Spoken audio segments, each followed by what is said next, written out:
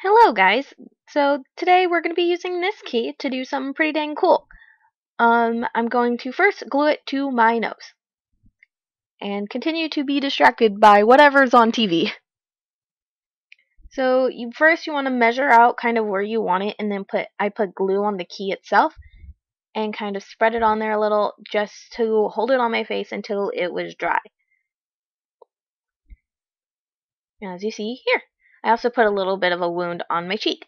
Next, we are going to take some foundation, make sure your Q-tip is a little wet, and blend in the glue to hide it underneath my face and to make it look like it's gone through my nose.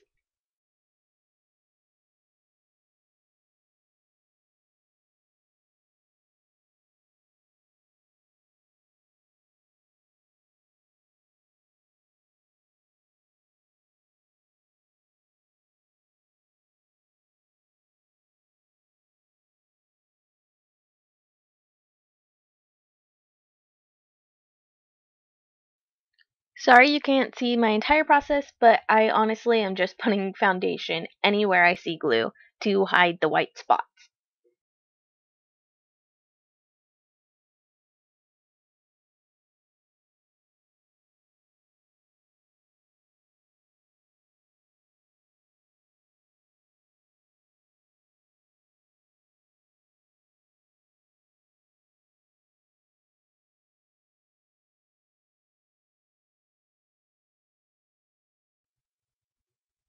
Now that that's done, I encourage you to blend the edges a lot to like even it out with your skin tone.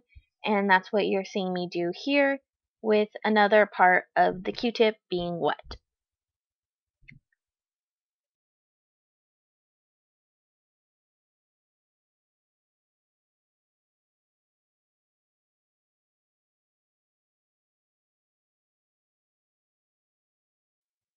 After that, it is the setting powder that you will use, but be careful because we don't want to knock the key off. Even though it is dry, it is being held by a little bit of glue.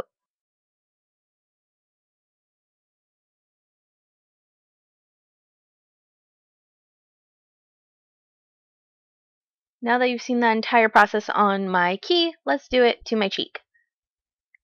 So next we're going to use the black crayon that I have, or like eyeliner, to fill in the center of it. But for the key, you're going to want to do it on the edges where it's come through your nose. You can also use black eyeshadow to do the same thing right after, which is what I did here to the key because the pencil didn't work very well. Next, I used my red lip liner to do the same thing and to map out kind of where the blood is.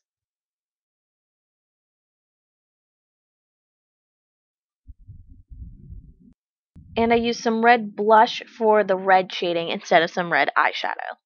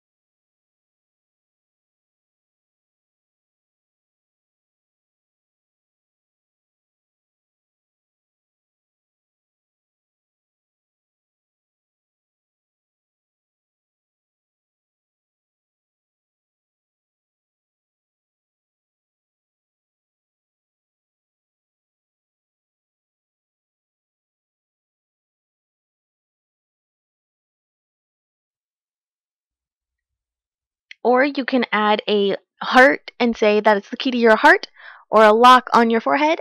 I just put the key in, but that's okay. If you like this video, give it a big thumbs up, and I'll see you guys next time.